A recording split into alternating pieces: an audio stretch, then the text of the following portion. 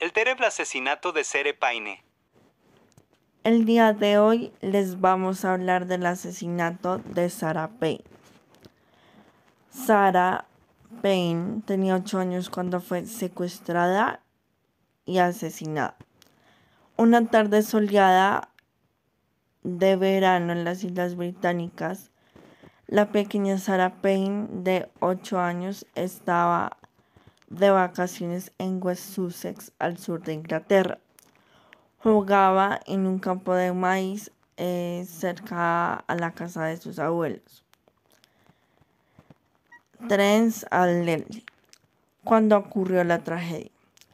Según la fiscalía, Sarah Payne fue raptada cuando estaba jugando con sus hermanos.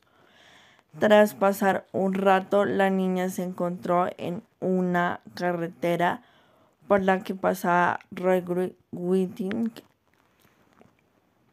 El asesino de después de haberla sometido a todo tipo de vejaciones y torturas, la arrojó muerta en una cuenta de la carretera. Los padres y policías iniciaron un gigantesco mecanismo de búsqueda. Durante las primeras 48 horas aparecieron en los medios numerosas veces pidiendo ayuda para localizarla, sana y salva. Pero los resultados no fueron positivos. Las indagatorias continuaron durante dos semanas e incluyeron interrogatorias a diversos sospechosos hasta que se confirmó lo peor. Hablemos del asesino. Los ojos de la policía se posaron rápidamente sobre Roy William Whitney, un hombre local con un pasado oscuro.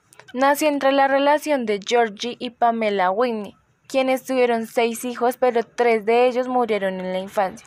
Roy fue uno de los sobrevivientes. Durante el juicio por el asesinato de Sarah Payne, Roy Whitney había sido condenado en 1995 por un delito sexual del mismo orden.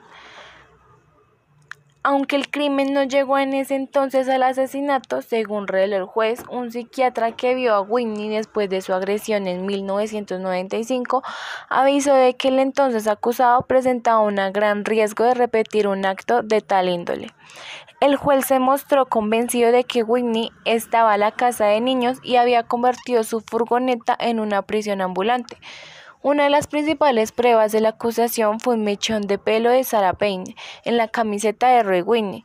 Los investigadores también encontraron fibras de recubrimiento interno en su furgoneta, en el pelo y los zapatos de la menor asesinada. Cuando los policías empezaron a realizar la investigación, lo primero que pensaron fue en revisar el registro de delincuentes sexuales en la zona.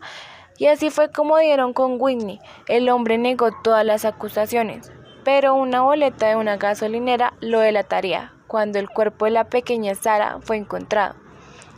El hombre que encontró el cuerpo, es un granjero del sector, fue el primero en contar lo que vio. Quedé en shock. Pensé que era un venado muerto o algo por el estilo, pero cuando me acerqué vi que era una niña. Quedé tan impactado por el descubrimiento que no pude recordar en qué posición estaba el cuerpo. Noté que varios miembros estaban separados del cuerpo y por el olor y la apariencia se estaba descomponiendo. Algo aturdido corrí a casa y llamé a la policía, confesó el testigo. Vesna Zivorik, la patóloga que realizó la autopsia, concluyó pronto en la misma audiencia que la pequeña tuvo una muerte, confesó el testigo.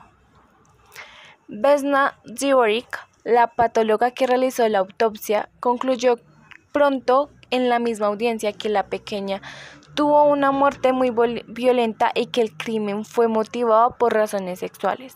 Aunque no se logró acreditar la violación o abuso por la condición de los restos, todo indica que así había sido. Los padres y la ley de Sal. Sara, la madre de la pequeña asesinada, inició una importante campaña a favor de la creación de una ley que permitía a los padres tener acceso a la lista de delincuentes sexuales que vivían cerca de sus barrios a la que se le bautizó como la ley de Sara. Cuando se comenzó a revelar la verdad detrás del asesino de su hija, la lucha cobró más fuerza y finalmente a finales del 2008 se inició un plan piloto en ciertas partes de Inglaterra y Gales y en 2011 se amplió a todo el Reino Unido.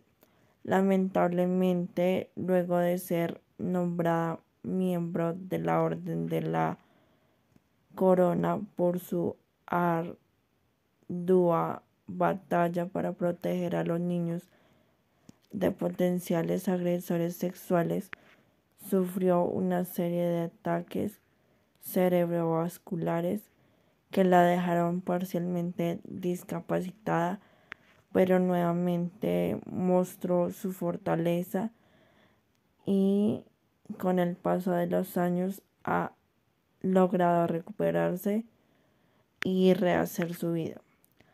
Aún hoy la terrible muerte de Sara sigue conmoviendo a Inglaterra mientras su madre ya sin su marido al lado sigue luchando porque no se pierdan más vidas como la de su amado ángel. Créditos. Soy Camila Gómez. Eddie Estefanía Ríos.